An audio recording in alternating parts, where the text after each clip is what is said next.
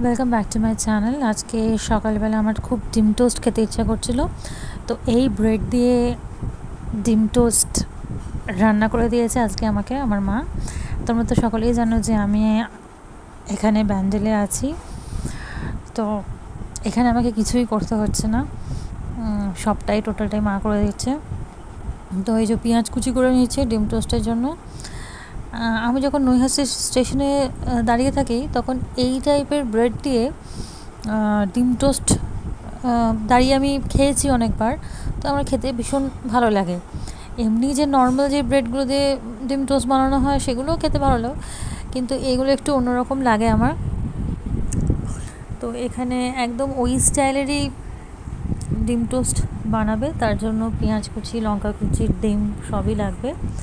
এ দেখো এই ব্রেডগুলো এখনও ছাকেনি। তার ছাকার আগেই এখানে এরকম টমেটো কেচাপ দিয়ে দিচ্ছে। তোমরা কিন্তু ঘরে এভাবে বানিয়ে দেখতে পারো। সত্যি বলছি খেতে খুবই ভালো লাগে।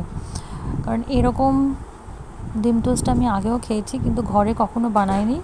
ঘরে যেরকম নর্মাল ব্রেড দিয়ে বানাই, সেরকমই বানিয়েছি, কিন্তু এই টাইপের ব্রেড দিয়ে ডিম টোস্ট বানিয়ে তোমরা একবার খেয়ে দেখতে পারো। তারপর এর উপরে গোলমরিচ ছড়িয়ে দিচ্ছি।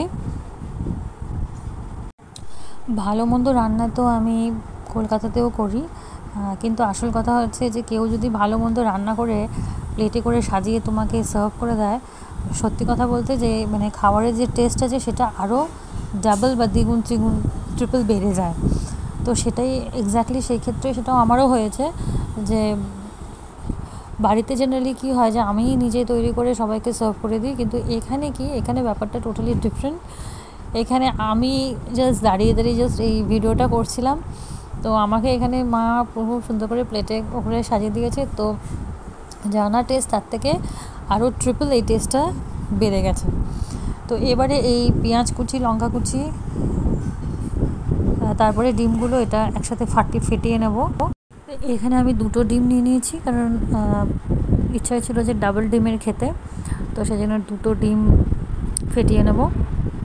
এইটা আরেকটা ডিম। তারপর দিয়ে দিচ্ছি এখানে স্বাদ মতো নুন।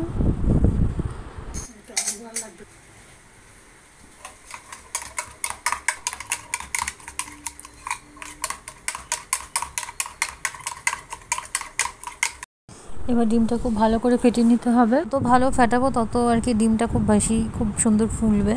তো সে কারণে যত, যতক্ষণ ধরে ফাটানো দরকার ততক্ষণ ধরে ফেটিয়ে নিলে বেটার হবে। কারণ ডিমটা বেশ সুন্দর করে ফোলে। মানে এটা আমি নিজে এক্সপেরিমেন্ট করে দেখেছি। তো এই যে ফ্রাইং প্যানে এবার দিয়ে দিচ্ছি সর্ষের তেল, পুরোটাই সর্ষের তেলই হবে। এবার তোমরা যেভাবে খেতে পারো, কারণ আমার সর্ষের তেলটা বেশি আমি প্রেফার করি। সাদা তেলেও করতে পারো, যে ইটস আপ টু ইউ যে তোমরা কী তেলে এটা ভাজবে। তো যাই হোক, এবার দেখো ফ্যাটানো ডিমটা এখানে পুরো দিয়ে দিলাম। পেঁয়াজ, কুচি, লঙ্কা, আমি একটু ঝাল কম খাই বলে ঝাল কম দিয়েছি। তো তোমরা চাইলে ঝাল অনেক বেশি খেলে বেশিও দিতে পারো। যেহেতু আমি এখানে গোলমরিচ দিয়েছি বলে জন্য দুখানা লঙ্কা দিয়েছি। তো চাইলে তোমরা বেশিও কাঁচা লঙ্কা দিতে পারো। তো এরপরে এর ওপরে এরকম পাউরুটিগুলো দিয়ে দিচ্ছি। একটু ভালো করে একটু টাইম নিয়ে একটু লো মিডিয়াম ফ্লেমে এটাকে একটু ছেঁকে নেব, নাহলে ডিমের একটা আষ্টে গন্ধ বেরোয়, সেটা চলে যাবে, একটু ভালো করে ভাজলে পরে। একটু কম আছে, একটু টাইম দিয়ে ভাজলে পরে ডিমটাও খুব ভালো ফ্রাই হয়, আর ওই আষ্টে গন্ধটাও চলে যাবে। দু তিন মিনিট ভাজার পর ডিমটা জাস্ট উল্টে দিলাম, এবার অপর পিঠটা ভাজা হবে। তো দেখব যে যেন কোনো পাটটাই যেন একটু কাঁচা না থাকে, এই জন্য যতটা সম্ভব একটু টাইম দিয়ে একটু লো ফ্লেমে ভাজলে কী হবে জিনিসটা, খেতে ভালো লাগবে। আরেকবার ডিমটাকে উল্টে দেখে নেব। দেখো, পাউরুটিটা খুব ভালো করে ছাকা হয়ে গেছে। মোটামুটি আমার ডিম টোস্ট কিন্তু একদম রেডি হয়ে গেছে। এরপরে একটা সুন্দর প্লেট নিয়ে সেই প্লেটের ওপরে এটাকে সার্ভ করে নেব।